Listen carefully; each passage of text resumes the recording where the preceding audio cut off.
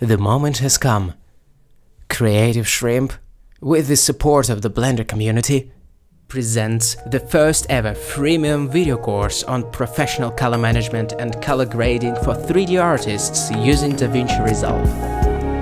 DaVinci Resolve is a professional color grading software used in Hollywood but also widely adopted by indie and hobbyist filmmakers all around the world. It's known for its amazing color grading toolset and how it makes it easier to achieve rich and cinematic color grades. What was crucial for its adoption and success is that it has a free version, which doesn't compromise on the power, making it a perfect match with Blender, which needless to say is also free. So you can take your awesome animations rendered in Blender and actually color grade it in the industry standard color grading software, adding that professional polish and tailoring the colors to your creative vision. All of that for free, or if you want to invest in Resolve Studio or some add-ons for Blender for a pretty manageable amount of money. But again, the main workflow being completely free. So we decided to release a video course which is also free, or freemium as we call it. We don't want to put it behind a paywall this time, in other words, so everyone can use it. We do it like this as we feel we're standing on the shoulders of the giants, such as Troy Sobotka, Juan Pablo Zambrano, Joe Genko, Adriana Oliveira, Eary Chow, and many others. And as we've mentioned before, the software itself is also free, so there's no upfront price for the course this time. You can get it at literally zero dollars, essentially for free, or you can donate any amount that feels right to you. We feel that it's the right thing to do, even though it took us months or even years to wrap our head around it. I mean, how the whole color management thing works, and how to export the wide dynamic range from Blender and process it in Resolve without losing that range, so on and so forth. We dived deep into it and spent our time researching what is the gamma and color space, and how exactly to set it up correctly in Resolve to get the best result, and how the various settings influence the picture formation, so we can get most out of this workflow. You know, this stuff can be a rabbit hole, and there is a lot of confusion around this subject on the internet. So even the 3D rendering pros can often feel a bit lost at what buttons to press to get things right. The good news is that we at Creative Frame actually did our homework and built a workflow that we have been using since then to compose it and grade our Blender animations. We think that the results speak for itself if you watched the animations that we made for our cinematic lighting course, for example, and for some other projects, that is precisely that workflow that we used to make the colors pop and add that cinematic touch to everything. The renders made in Blender and graded in Resolve, that's the combo. So finally, we're ready to share this knowledge with you. To make sure that the info we're gonna share is factually correct and we don't accidentally spread misinformation, we've been in contact with such luminaries as Troy Sobotka, Juan Pablo Zambrano, Joe Genko, Adriano Oliveira, and many more have been consulted along the way. Now let me walk you through the contents of this 4-hour course.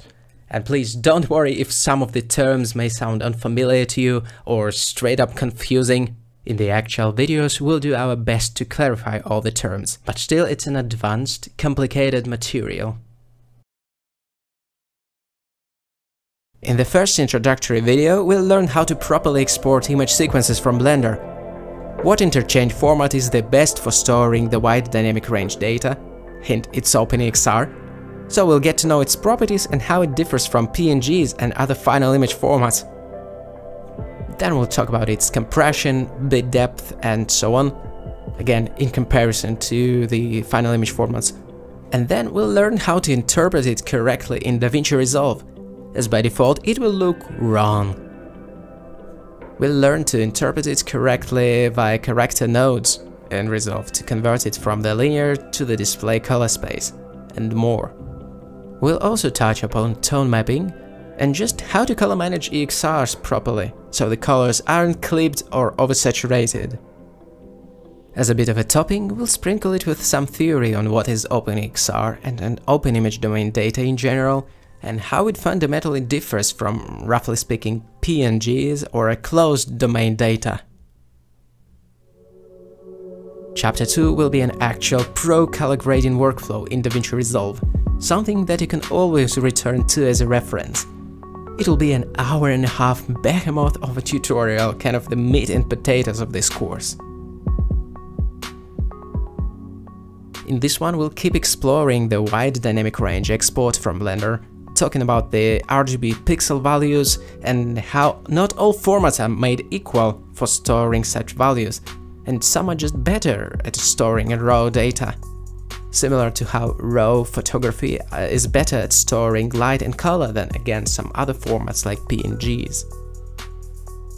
Then we will set up a physically correct exposure control and start building a professional color management and color grading pipeline that uses the industry standard logarithmic color space as a, the working space according to the best practices of color grading, and a separate display transform in the end this video will also contain a quick overview of the amazing color correction toolset that Resolve offers. The sophisticated controls for saturation, color wheels for changing the overall color balance, selective hue adjustments and so on.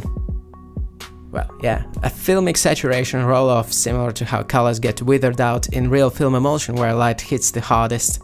In brief, a quick overview of the industry standard color correction tools Resolve is famous for.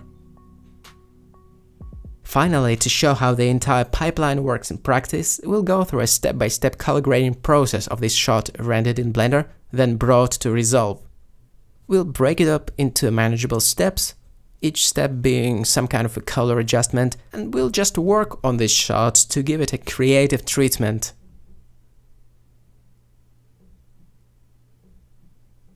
In the next chapter, we'll talk about AGX and other amazing view transforms of Blender, and how they react to changing the exposure. The main point to drive home will be how to implement them in Resolve and implement them in full so they do actually support the exposure adjustment and other crucial features. Beyond AGX that you all know and love, we'll actually go a step further and check some variations of AGX that you might be not as familiar with. And then some more view transforms, such as OpenDRT, 2499 and other. If you feel confused right now and think, what are you even talking about? Then good, you are up to some pretty eye-opening stuff then. To get some theory mentioned, we'll take a dive into how view transforms work in general, and what makes them similar to photochemicals that we were using to develop raw photo negatives back in the day. This theory will be useful so you better understand how certain chemicals, or in case of Resolve, view transforms handle extreme saturation and complicated colors. If anything, I think you will be pleasantly surprised at the choice of free DRTs or display rendering transforms available to us beyond AGX in Blender. The DRTs with some cool extra options for adding that cinematic touch to your animations even though AGX will be our main focus still, as that's probably the most frequently asked question about the Blender to Resolve workflow, and something that apparently even the seasoned 3D artists struggle with. So we'll get it cleared. The next chapter is gonna be the peak of this Blender to Resolve series, you know, where the workflow really peaks, and probably my personal favorite as well. The multi-light layer workflow based on some simple compositing, the premise is simple. There are some light layers in Blender. For example, the environment light, the sun, the light for reflections, uh, the light for whatever you may have in your scene, uh, including volumetric effects and the submerged starship lights, of course. And then these light layers are rendered separately, each one being an EXR image sequence.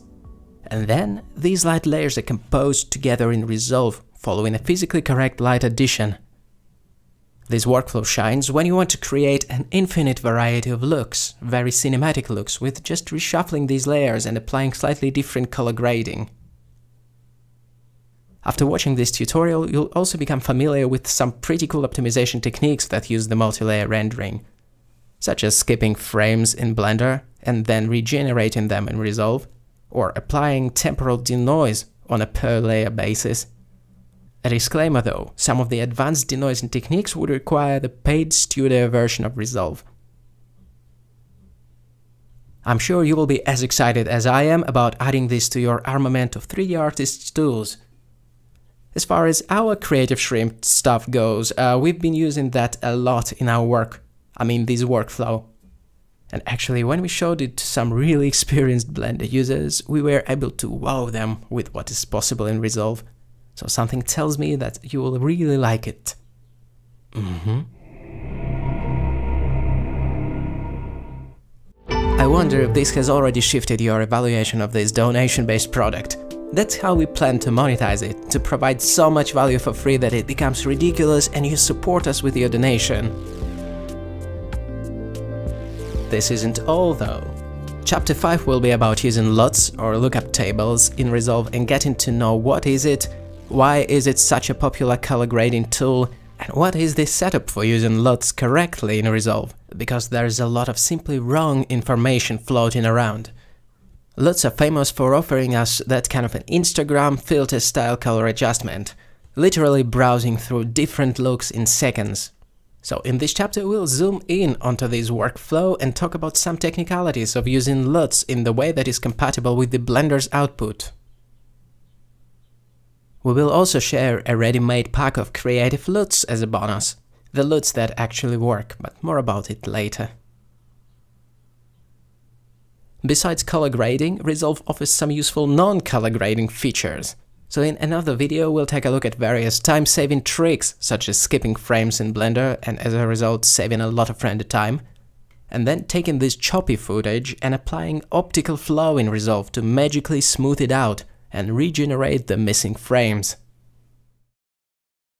Or adding the fake motion blur, or how to take an extremely noisy Cycles render and apply spatial and temporal denoise in Resolve to greatly reduce the amount of grain, and do it without introducing the frame flicker, something that Blender struggles with. Not to mention super scale or super resolution, which is one of the features exclusive to the Pro version, or to the Studio version of Resolve rather, uh, but still worth mentioning as it's another time saver. That isn't all you get for $0 or more. There's also the bonus stack.